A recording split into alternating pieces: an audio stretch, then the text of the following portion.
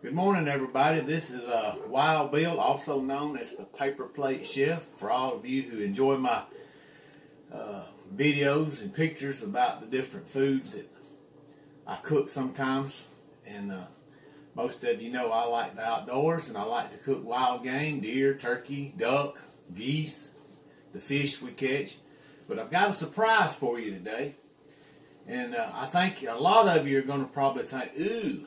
But before you think, ooh, I want you to think about something. When you go out to eat, a lot of times we don't know what we're eating.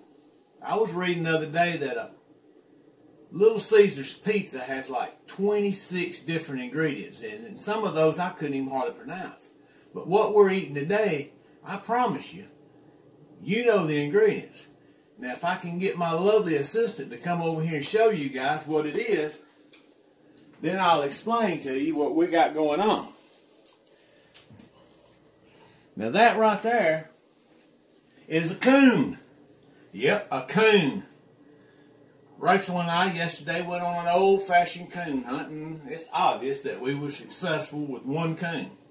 So what I've done is I've soaked this coon overnight in some salt water in the refrigerator to pull some of the blood out. And now I'm going to quarter it up and I'm going to boil it. Probably at least two times, maybe three. And the reason I do that is I want to get the fat off of it because you don't want coon fat. You might want hog fat, you know, if you eat pork. You want some beef fat and a ribeye, but you do not, trust me, want any fat on a coon. So I'm going to do my best to get all the fat off. And then when I get through with that, I'll come back to you. All right, folks, it's the Paper Plate Chef. I'm back. I've cut my coon up. And uh, what I'm doing is I'm boiling him now. And what I want to show you is this is what you're looking for when you're boiling your coon. If you'll look real close, you see those skimmings that come up on top. That's fat. And I'm going to boil this for about 30 minutes. And I'm going to turn it off. And then I'm going to pour this off. And I'll put clean water in there. And then I'll boil it again. And while all that's going on, over here in my crock pot is I've cut up some potatoes some garlic and I'm cutting some onion. I've put some beef stock in there, uh, some salt and black pepper. I'm going to get that going. So while this is boiling, this is cooking my potatoes and stuff down. And what I'm going to do is I'm going to pull the meat off the bone of this coon and I'm going to add it to this crock pot.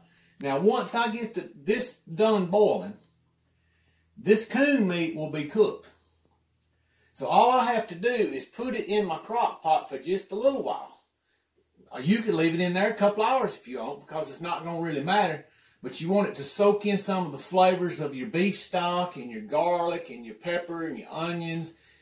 And, and, and then sort of thicken it up a little bit. and then it'll be ready to eat.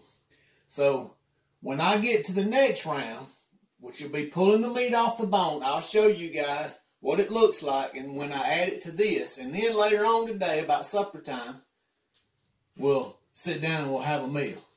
Thank you, guys. All right, folks, it's the Paper Plate Chef back with you again. We have got to stage three. The coon has been boiled twice. I've gotten all the fat off of it. If you'll look right here in this pot, this is some water that's left over after the second boiling. If you'll look closely, you can see that fat. See that? How it's starting to cool. See, that's what you want to see in your water. This is pretty much done. As you can see, I'm picking the bones. And if you'll look real closely, this is what you want to avoid in your food. You don't want that fat around that joint. That, that's one of his, probably his hind leg. You don't want that in your food, so you pick the meat around that. And you want want your meat to come out like that. This is the backbone. That's the back straps.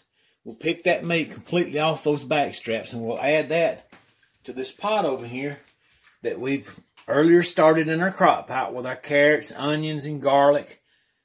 It's done cooked down. The carrots and the uh, potatoes and all are soft. We've got a good roux that started. So we're at the point now and we're going to start putting our meat into the crock pot. Like I said earlier, once you boil this for a couple hours, and it's one o'clock right now, and if I'm not mistaken, I believe I started this from a just a raw coon right out of the refrigerator around 9:30. So here it is one, and we're to this point right here. So that gives you an idea of how long it takes to get to right here. We're basically done now, except for pulling the meat off this bone. And what I'm going to do right now is my lovely wife has never eaten coon before in her life. And she's a little apprehensive to say the least. But I'm going to let her try this so you guys can see. And I want her to promise us that she's going to tell us to the best of her ability what she honestly thinks about this coon when she tries it. So what I'm going to do is I'm going to swap places. And I'm going to present y'all with my beautiful wife. Y'all all know is Rachel. Okay, so here goes. And this is just a little bit of boiled coon. Like I say, the coon is done. It's been boiled. So here we go. I got a piece right here. It's good. Believe it or not, it tastes like tastes like roast beef for real. Don't taste like chicken. Tastes like roast beef. I think it's doable. I like it. Okay. Now, you told me to brush my hair before I did this. I'm eating coon for crying out loud. Why does it matter if my hair is messed up? But anyway, we did it. Okay. So there you go, ladies and gentlemen. Like I said earlier, sometimes what we perceive as not edible is actually pretty good. There's one ingredient right here coon. Now, we do have some garlic and onions and potatoes and stuff in this, but this is just coon. And I want to remind all of you that in Genesis, the book of Genesis in the Old Testament, in chapter 1, I believe around chapter, uh, verse 26, 27, somewhere in that, now you can get your Bibles out. I'm close. I may, that God creates all the living creatures of the world. This is right after He's created you and I. And He gives us dominion over all the creatures of the world. And as we look at this food right here, one thing that I am absolutely thankful for is the fact that God has given us dominion over His creation. And when you take part in God's creation and you give thanks to Him, that's the part that I enjoy the most. So when I get done with this picking this coon, the next time I see you, we'll have plates. We'll be ready to. We're going to cook some biscuit. We got some black eyed peas right here. It's fresh out of the garden from last year. And we're going to sit down. We're going to say grace and we're going to eat our supper. See you next. All right, folks. We made it to the last part. All the prep is done. Our plates are fixed. And yes, they're on paper plates because I am the paper plate chef.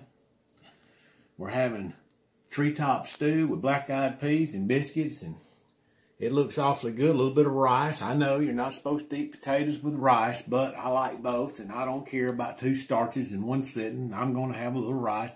It helps soak up the stew a little bit. But I've enjoyed sharing this with you guys today, and um, we're going to get ready and sit down and eat now. It's uh, 2.30 in the afternoon, and it's supper time, so we're going to say our blessing, and I want each of you, if you want to see us cook something different, you know, say what you want us to cook and we'll do it. But right now we're going to pray and eat supper and thank you and God bless you. Our Heavenly Father, we thank you, dear Lord, for this day and we thank you, Lord, for the many blessings and we thank you for your creation and allowing us to take part in it. And we give you thanks and praise and glory for that. Lord, but most of all, we thank you for your Son, Jesus Christ, who came here and lived amongst us and died for us so that we don't have to worry about spiritual death. We may have to face physical death someday, but we don't have to worry about spiritual death. Thank you for this food and the memories that it makes in preparation and the joy of being outside. And we ask that you bless it to the nourishment of our bodies so that we may go out and, and spread your word and and share our joy with others. These things we pray in your name, Lord Jesus. Amen. Thank you, guys.